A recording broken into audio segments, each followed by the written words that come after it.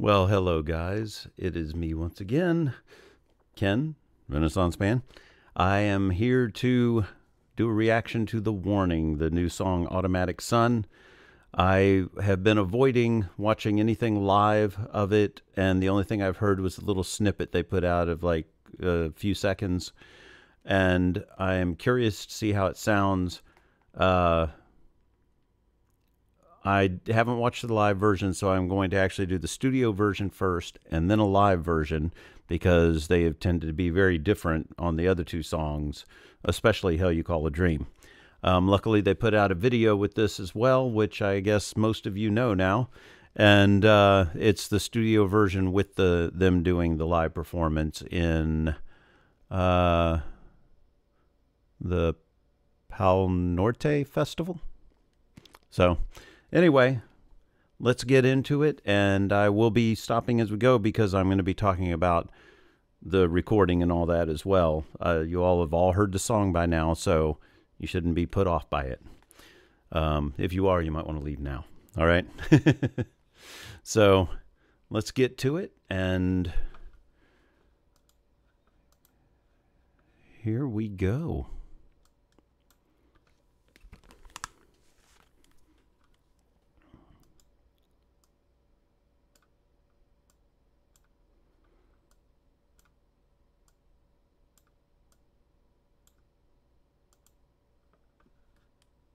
Righty.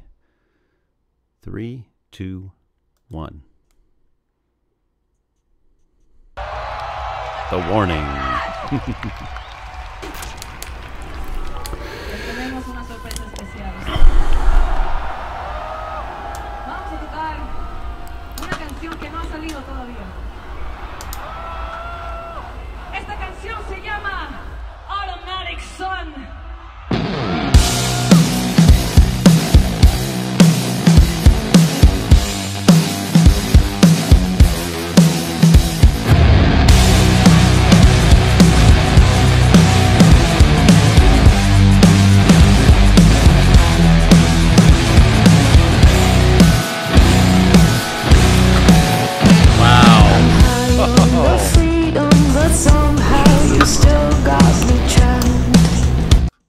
Okay, uh, I know I'm stopping it already, but a lot happened in a hurry. Um, at first, I thought that was the bass over to the left side in my ear. Uh, I think it was the guitar just tuned way down. I was talking to Robert earlier. He's watched some of the live stuff. He was talking about how low Danny's guitar was tuned in this. And if that's her guitar, wow. Um, uh, a, a few of the things. So let's listen to that first.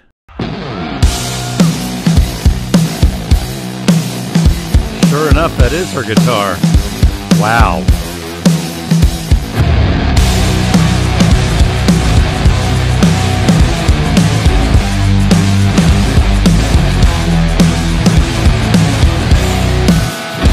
I uh, freaking love that. I'm high on the freedom, but somehow you still got me trapped.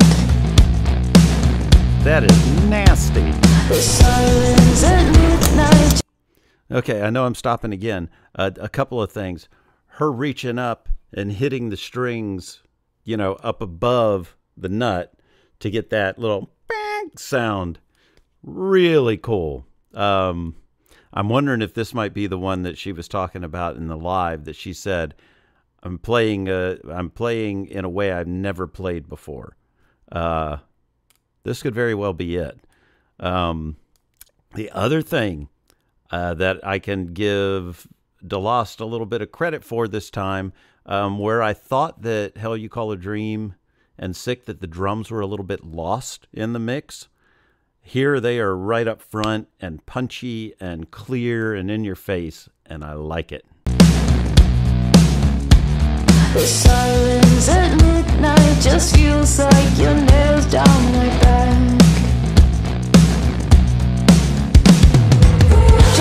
Oh. of Wow. life is just unavoidable headache, but you got me begging instead. Burning your automatic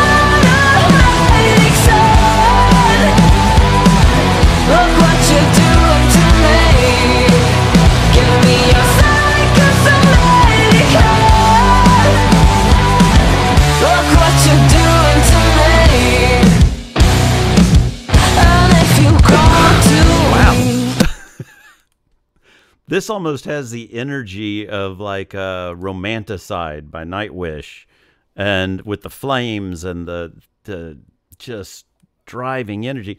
This is the most energetic mix so far off this album. Um, I don't know if it'll continue that way, but I am liking it. Uh, and I don't know if Ali was doing the falsetto part coming in on there or if it was just Danny doing that on the album and then Ali's going to do it live.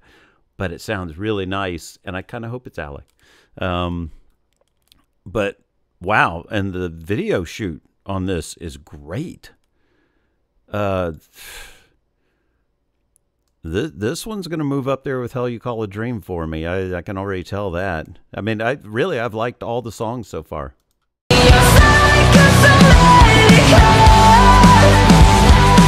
Danny's voice right there, phenomenal.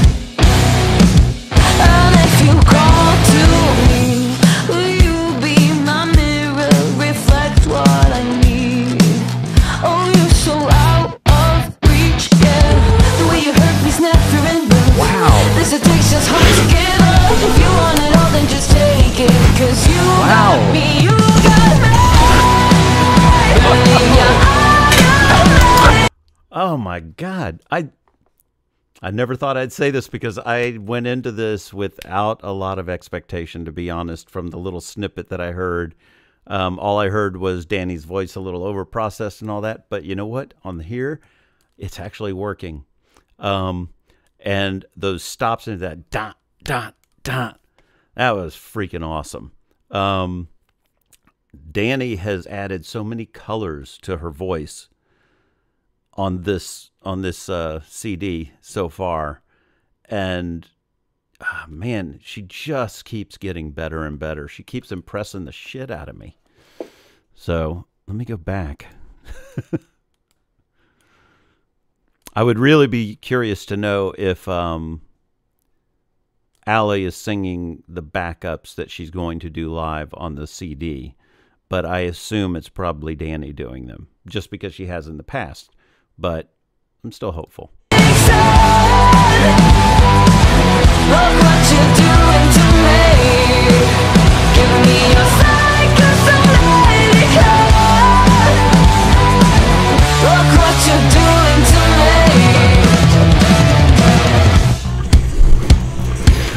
Great little roll. That is so cool. Try not to think about it too much. The way the weight of everything's just unavoidable. Mm. The way you hurt me's never enough. This Oh. addiction's hard to give up. If you want it all, then just take it, take it, take it. Wow, the crowd. Burning your eyes. Um, I want to run that back for that roll. Uh, the, the drum mix on this is so good. Uh, it's everything that I was wanting from the others in clarity. So, uh, man, I, I could not be more impressed with this song, oddly enough. Will you be my mirror? And I love that Ali's playing her uh, original Oh, signature bass.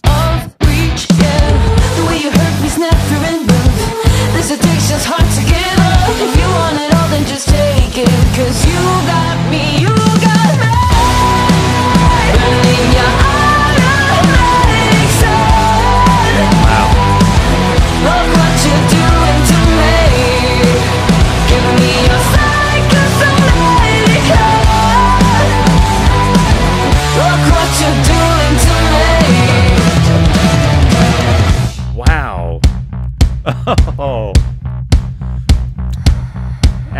looking like a badass out there, I tell you. Try not to think about it too much. The way the weight of everything's just unavoidable. Ooh, ooh, ooh, ooh, ooh. I gotta run that back. La da da da da da da da. That was pretty. Um, these are the most dynamics I think I've ever heard Danny stick into one song. That is really cool. And man, that bass, that that little bass breakdown is just phenomenal. Um, sorry I've been pausing this so much, but there's so much to talk about. okay.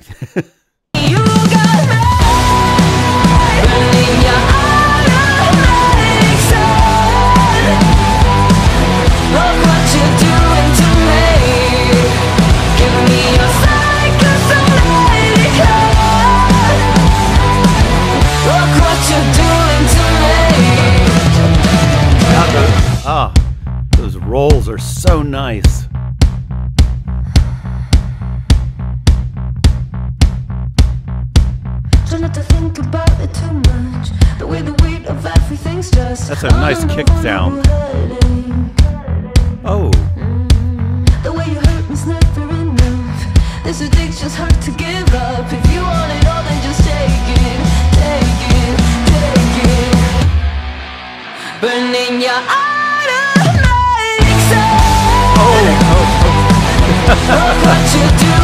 Okay, hold on. That- let me see what I'm hearing there. This addiction's hard to give up. If you want it all, then just take it, take it, take it. Burning your automatic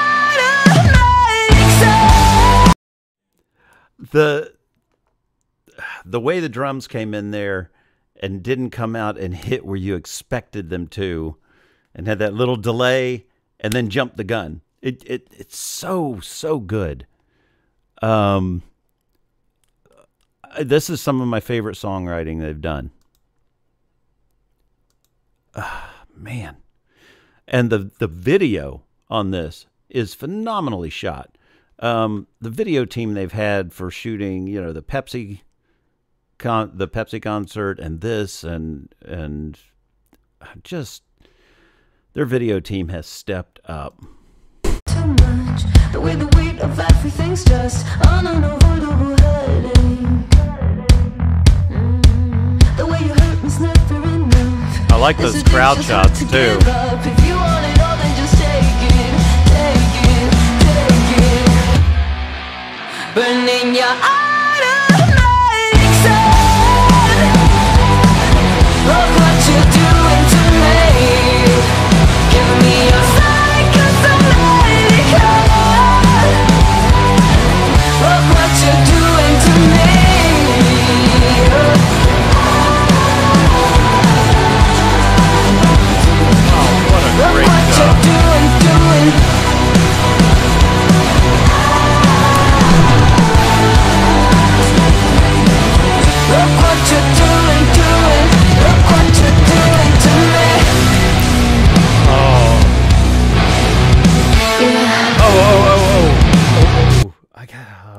go back and hear that. I thought sure they were going to end on that little downbeat. The fact that they went into this heavy, heavy groove at the end, really, really cool. Um, and, and I know it doesn't sound, but the feeling I got when they went into that was just old Black Sabbath. Just when they would go into that really grungy, like kind of half timey, uh, just awesome.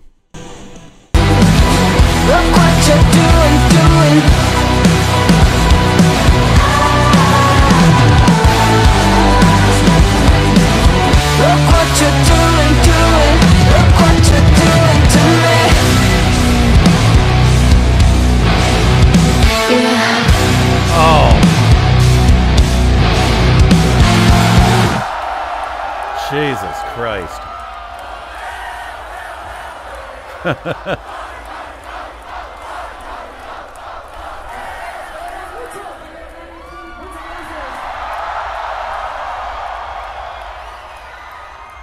wow.